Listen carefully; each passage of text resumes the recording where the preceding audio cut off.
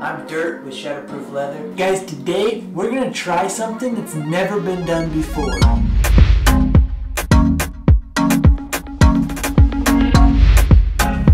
We're gonna try and take this dirty old nasty boot and turn it into a premium leather product. Let's go!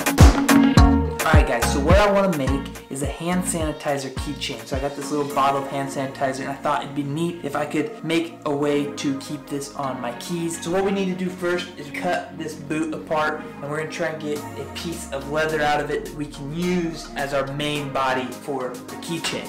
I'm going to go ahead and start by cutting the shaft of the boot off of the vamp. And uh, what that's gonna hopefully do give me a nice chunk of leather that we can start working with and start manipulating down to the shape that we need for this project.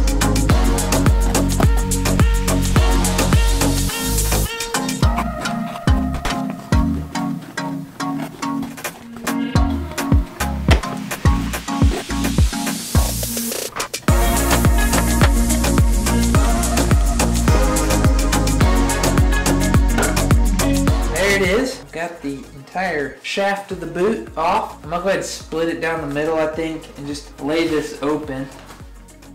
Right.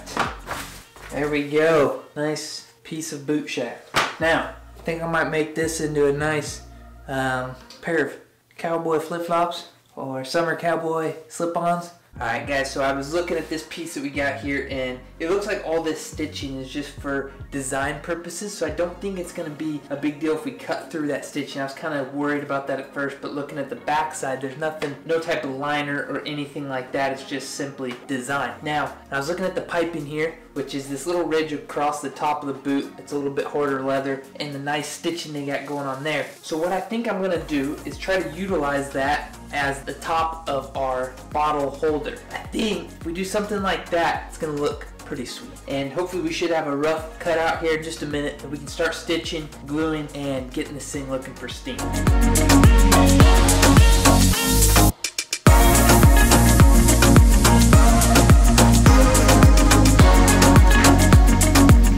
Well, I got this piece cut out here and it's got these threads on top of this piping, which is good, makes it look really nice, but since I cut through those, I don't want them to peel out. So I'm just gonna take my lighter and heat those up on the ends and just basically reset those ends into the leather. That way they don't start pulling up over time. These have not been backstitched like we do on all of our products. We backstitch that way they don't pull up and then we burn them in. But that's okay that these haven't been. Um, this isn't gonna be a hard use item.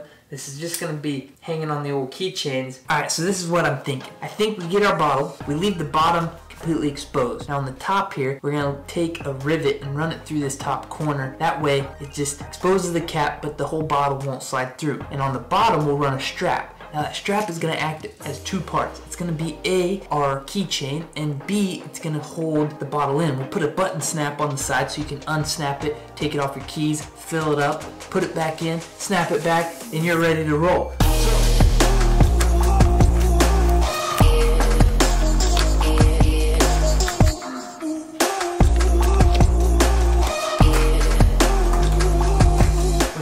Strap off, but it's got this weird backing, so I'm gonna go ahead and try and peel that off.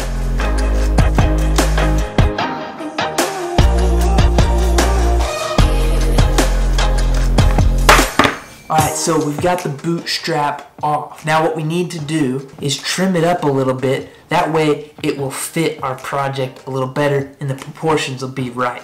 So we're to cut a little bit off of this strap and then we're to go ahead and stitch it to our project.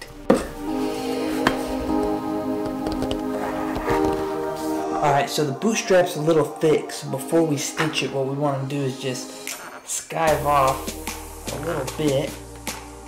Uh-huh. Just like that. Right where we're going to stitch it. Now, it's nice and thin where we want to stitch. That way we don't have this bulky, thick, junky looking strap.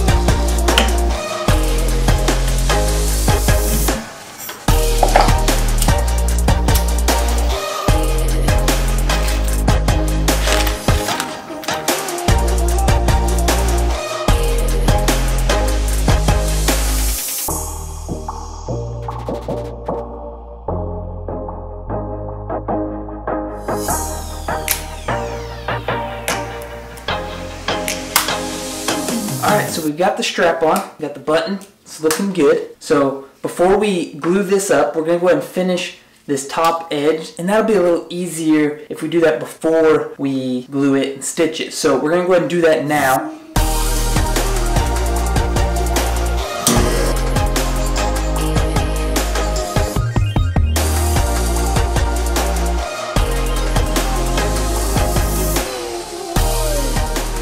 We got the edge finished and it looks really nice, super slick and clean. So we just need to glue this up, get it stitched, finish that final edge, and this thing is going to be ready to roll.